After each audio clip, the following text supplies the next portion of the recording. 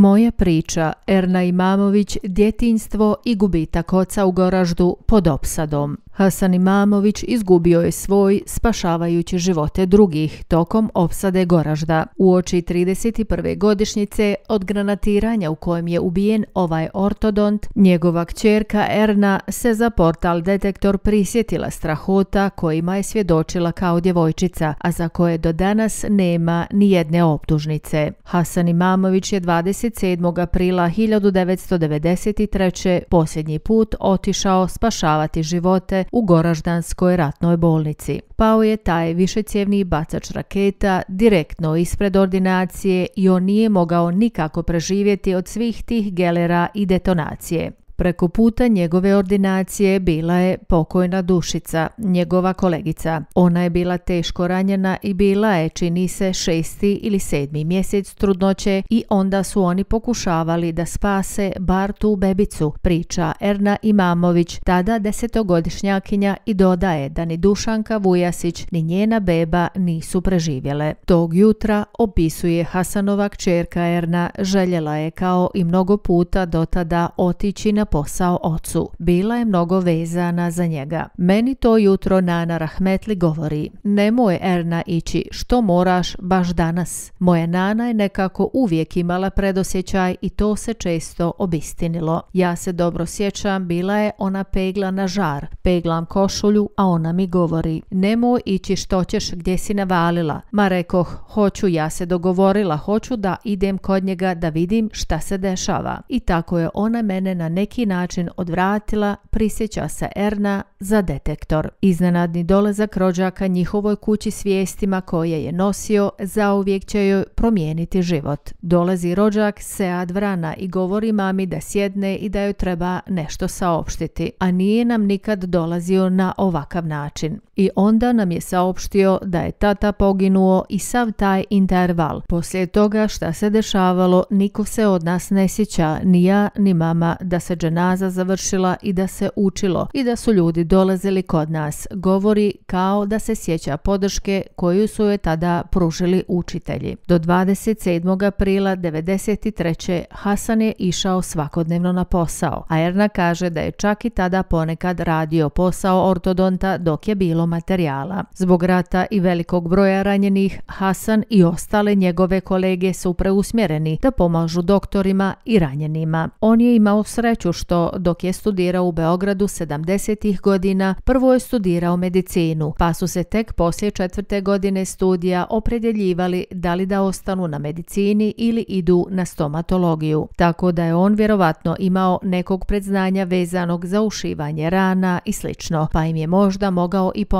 pojašnjava Erna. Bol zbog gubitka oca liječila je sviranjem harmonike koju joj je on kupio. Sjetila se kako su ona i brat pitali kako će bez njega. Za detektor govori da mu je često odlazila na posao i sretna je što je provela te trenutke sa njim. Tada su prisjeća se pričali o nekim lijepim stvarima i o tome šta se dešava izvan rata u Bosni i Hercegovini. Govorio joj je da će sve brzo proći i da će uskoro putovati svijetom i obilaziti zamkove koje su oboje voljeli i nalazili u atlasu koji joj je kupio kada je krenula u osnovnu školu. I kad je mama govorila da ne idem, ja kažem, odoh, znam se čuvati i onda sam imala priliku da vidim, nažalost, te ranjene jer nije bilo kapaciteta kapaciteta da se oni smjeste po sobama, prisjeća se Erna, dodajući da se tada zbog svega što je vidjela bojala patnje, pa je razmišljala da bi ako bude pogođena bilo najbolje da odmah i umre. Goražde je prije rata imalo samo dom zdravlja koji nije mogao primiti mnogo pacijenata koji će duže vremena biti smješteni i liječeni, te su tokom opsade koja je trajala 1336 dana, djeca, žene i ranjenici zbog velikog broja ranjenih ležali na hodnicima. Dolazak izbjeglica iz Foče, Višegrada i drugih mjesta oko Goražda Ernino je sjećanje na period prije samog početka opsade Goražda. Početkom rata se zbog granatiranja osvajanja grada na Drini morala sa ostalom djecom igrati u podrumima. Nakon nekog vremena su se prilagodili na sva granatiranja i snajpere i ponakad bi izlazili iz podruma i igrali se vani. Kroz to vrijeme shvatili su gdje pucaju snajperi, kuda se može ići, a gdje mora pretrčavati. Pokušavali smo normalno da živimo koliko je pojam normalno u tom periodu mogao da se definira. Puno smo se družili. U Omladinskoj ulici smo puno vremena provodili, ljeti smo išli na drinu. Čak smo i u školu išli pod granatama, tako da se taj naš život odvijao normalno koliko su davali ratni uslovi. Samo da te ne ubije, opisuje Erna dodajući da su djeca tada viđala leševe koji plutaju drinom. Najteža i najgora godina rata Erni je bila 1993. godina. Osim gubitka oca, tada nestaju i sve zalihe hrane. Iako je Goražde u aprilu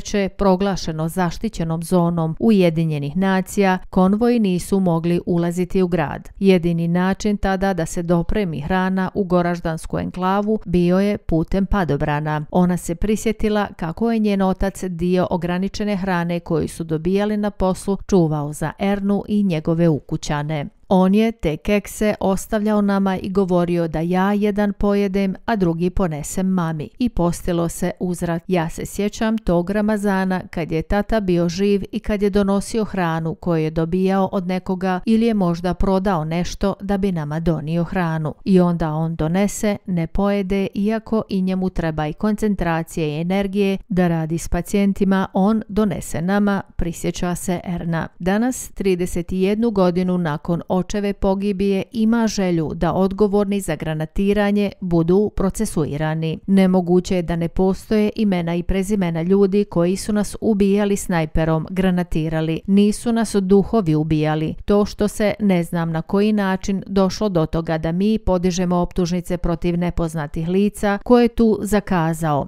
Mi, obični ljudi koji smo i propatili i izgubili nismo, zaključuje Erna. Za granatiranje i snajperisanje građana Goražda koje je pod opsadom bilo 1336 dana, do danas niko nije procesuiran. Prema podacima Udruženja civilnih žrtava rata, u Goraždu je tokom rata ubijeno oko 2000 civila, od toga 148 djece.